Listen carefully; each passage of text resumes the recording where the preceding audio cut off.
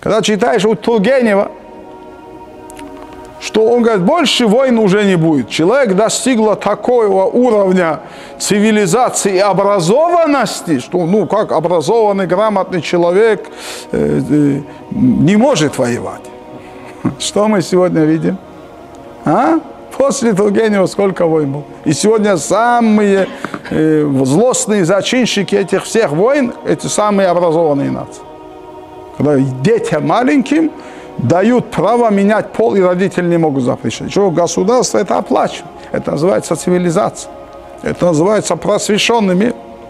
В Коране Аллах Субхану Ва Та'аля говорит, وَيُعَلِّمُكُمْ مَا لَمْ تَكُونُوا تَعْلَمُونَ Аллах, пророк научил вас тому, чего вы не знали и знать не можете.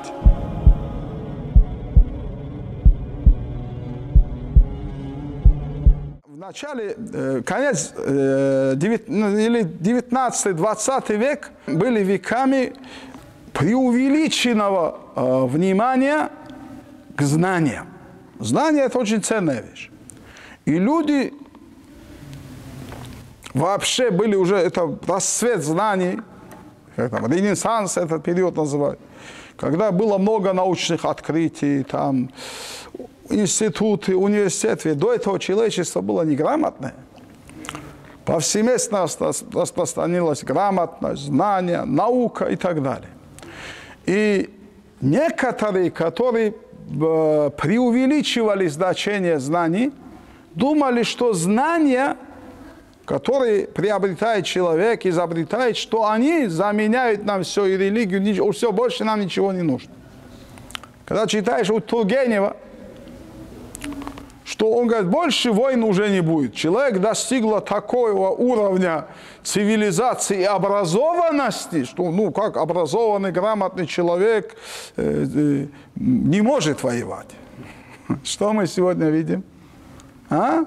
После Тургенева сколько войн было. И сегодня самые э, злостные зачинщики этих всех войн, эти самые образованные нации. Запад.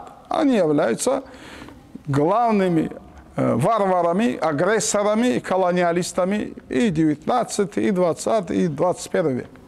Самая развитая страна Америка, она все время на кого-то нападает, все время кого-то бомбит, уничтожает.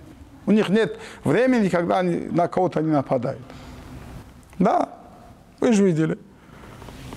Э, Ирак, Афганистан, Ливия, Сирия. Везде они, вот, та же Англия, вот этот период своего развития все время кого-то грабили, с кем-то воевали.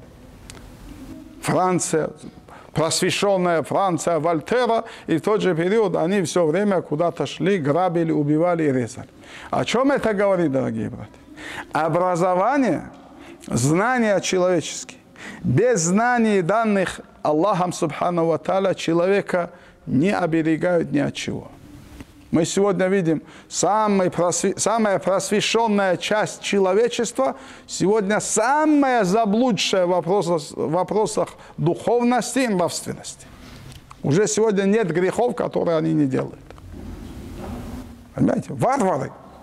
Вчера ролик одни скинули, человек поменял свой пол, отец просто рыдает, старый человек, плачет, рыдает. Он, просто видно, как человек убил сын его морально.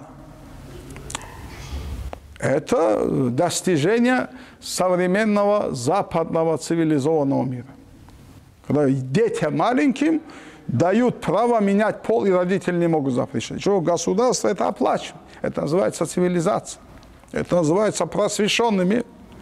В Коране Аллах Субхану Ва говорит, وَيُعَلِّمُكُمْ مَا لَمْ تَكُونُوا تَعْلَمُونَ Аллах, пророк научил вас тому, чего вы не знали и знать не можете. И духовность, и нравственность, и мораль сохранили только верующие, соблюдающие мусульмане. У них это все есть. И духовность есть.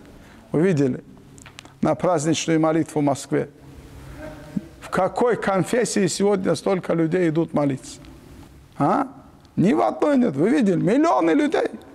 Пришли на улице, в снегу, при, да, при снеге, при дожде люди молятся.